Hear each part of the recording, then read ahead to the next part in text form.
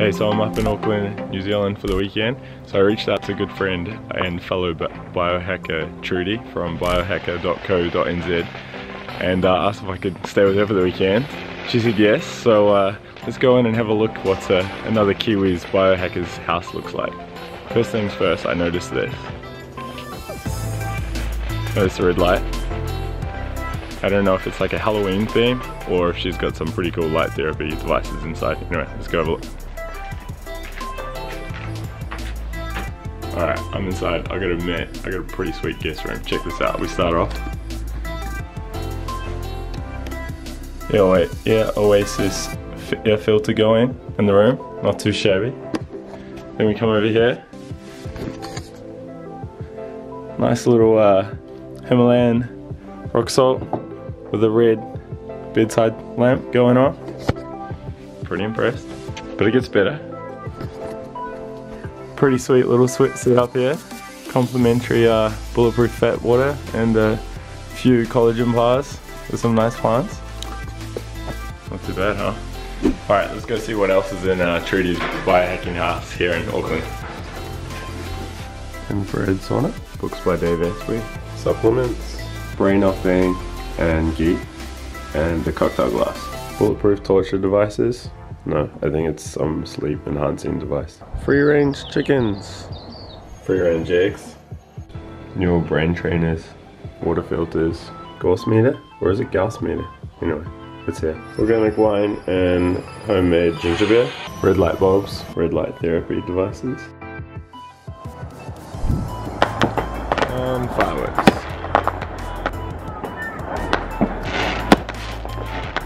Pretty cool, huh? This is where we're gonna have dinner tonight. Speaking of which, let's go see what it is for dinner. All right, and Trudy has made me, uh, what, bulletproof approved meal? Uh -huh. Let's see what she's whipped up for us. Say hi, Trudy. Hey. All right, what do we got? What do we got for dinner? Looks good, uh, smells good. We've got Angus beef grass-fed burgers, um, seasoned with turmeric and Himalayan salt, some organic kumara and parsnip and carrot courgette, and cauliflower, all the veggies from the local farmer's market and some bulletproof mayo. Sounds pretty good, huh? I'm pretty lucky. Let's dive in.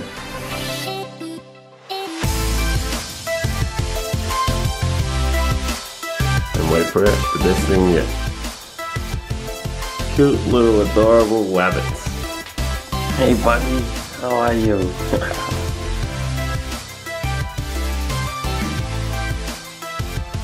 Remember these guys? Qualia? Started taking them last week, I think it was. Uh, full dose was way too much, you know, jittery, spacey, hit a wall in the afternoon, which you're not really meant to do. Um, it was way too much for me. So I cut it down to a two-third dose. That was a, a lot more manageable, uh, a lot easier to handle for me. Um, so precious, huh? Um, but I ended up sit settling on a, a one-third dosage. So, you know, most people would be like, really, one-third? Like, it's tiny. But it was good for me. I mean, it gets me going through the day. Um, I get the benefits of, of, these amazing ingredients, but I'm not bouncing off walls or uh, trying to figure out uh, whether my heart's gonna explode or you know, my head's gonna pop or something like that. So one third of the dose is much more manageable. Rebecca, she's actually taking exactly the same amount um, and she can handle it much better than I can, soft, huh? Anyway, but yeah, that's what I thought. Uh, that, that's me with the qualia. Nothing really to report on in the garden front this week other than my potatoes are starting to come up, which is good. And strawberries are coming out. Oh, and the lawns really, really need doing. So it might be time to do that. Lawns are done, now it's time for dinner. Uh, what I'm gonna do is I'm gonna turn this sweet potato, or kumara as they call it here in New Zealand, uh, I'm gonna turn it into sweet potato fries. And you're probably thinking, really, you're gonna film this? And that's exactly how I feel. I'm like, really, I'm gonna film this? But it is, um, it is a staple in our household. And um, a lot of people don't cook them. I don't know why. And they think it's difficult. And I'm gonna show you how easy it is and how good they look once they come out of it. I was gonna say how, how good they taste, but uh, you're not gonna be able to find that out. So um, anyway, you can make it at home. So let's do this. All right, so what I do is I use these cooking oils. Uh, coconut oil, from Blue Coconut and uh, beef dripping, which is a New Zealand grass-fed beef. beef dripping. And I'll just put that into the dish. So I put that in the oven. And while that's happening, we can peel the potato. Alright, so the cream is peeled. The uh, fat has melted. Now it's time to make chippies.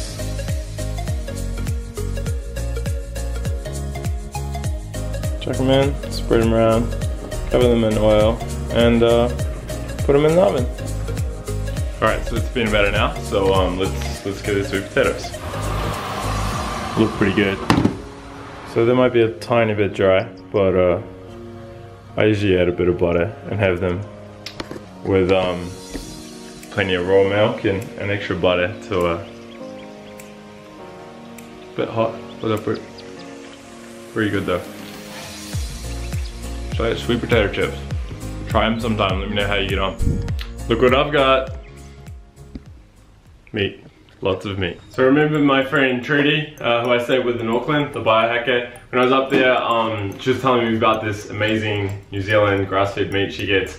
Um, from Green Meadows Beef.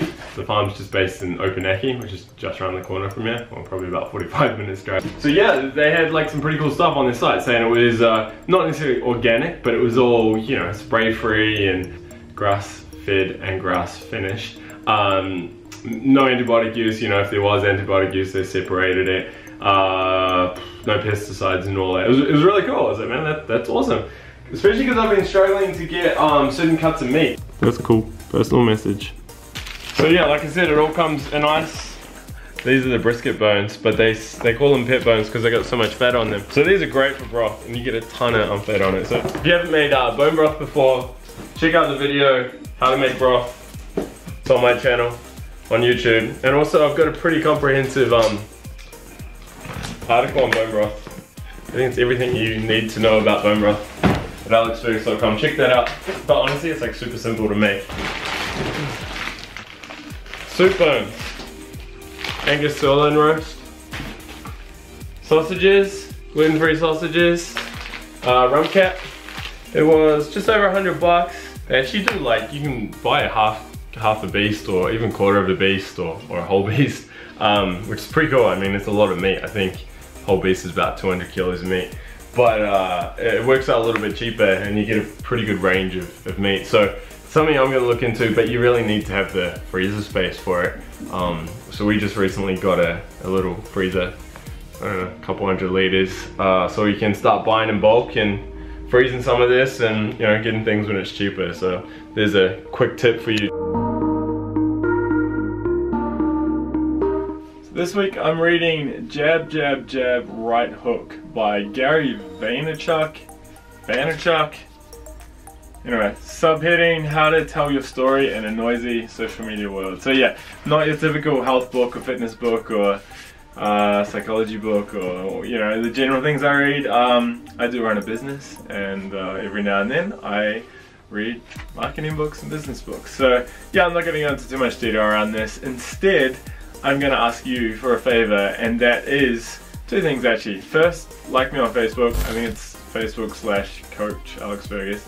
Secondly, um, let me know what you think of these videos because, like I said in week one, episode one, uh, I just want to do like half a dozen or so and um, try it. And if people enjoy it or get something from it, then I'll, I'll keep doing it. If not, if it's a waste of time, then uh, of course I'll, I'll stop sitting here and videoing myself. So yeah, let me know your feedback and uh, feel free to follow me on Facebook if you're not already. But if you're into marketing, check it out. I'm only a 50 pages in, but it is good. Um, enjoying it. So uh, yeah, that's all. So, so I'm about to train. It's my weekly session, Friday afternoon. Um, so I'm just gonna whip up my pre-workout. So usually I have the Perfect Keto pre-workout supplement, which has a bit of creatine, a bit of alanine, uh, some dried MCT, MCT powder. Uh, it's pretty good, but it's got some ketone salts in it as well, but it does have a bit of caffeine, so I don't take that when I'm training in the afternoon. And unfortunately, I don't even have any of it with me at the moment. So instead, I'll just have the uh, amino acids. Uh, this is the Ben Greenfield Nature Aminos. It, all it is, is um, eight essential amino acids. So what is it?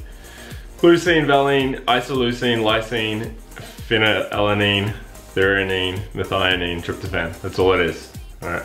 So yeah, I'll, I'll have a little bit of this, and uh, sometimes I add some baking soda, and that's about it. Cheers.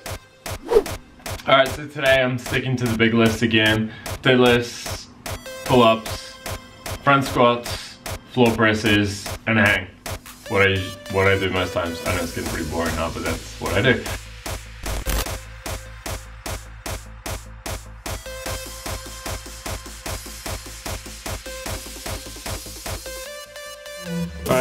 Warm up done. So I've got 140 on the bar now. Alright, that was easy. Uh, so we're gonna go up to 180 now on the deadlift.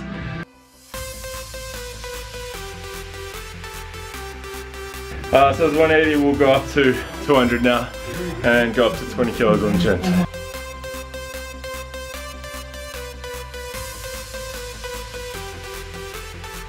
Alright, so that was getting tough there. Uh, so we'll go up to 210 for the next deadlift.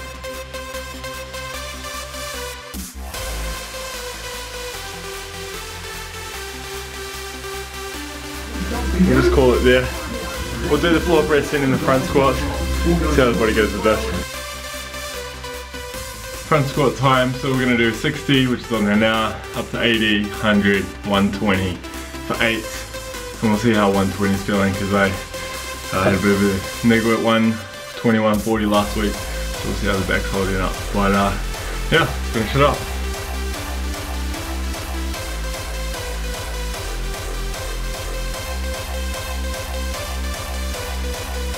Front squat was nothing special, but you know, still doing some okay numbers given the really low volume I've been doing and it's been for quite a while now as well if you look back at some of my old Instagram posts. So anyway, hit like, comment, question questions, share with your friends, tag friends if, if you think someone will be interested in it, and uh, be sure to subscribe. I don't always do training videos, but let me know what you like seeing. If you want to see more training, if you want to see more diet, if you want to see more biohacks, just let me know, okay? Because no one's paying me to do this. So I'm just doing it for fun and, and for you guys. So take care, it's Alex from alexfergus.com.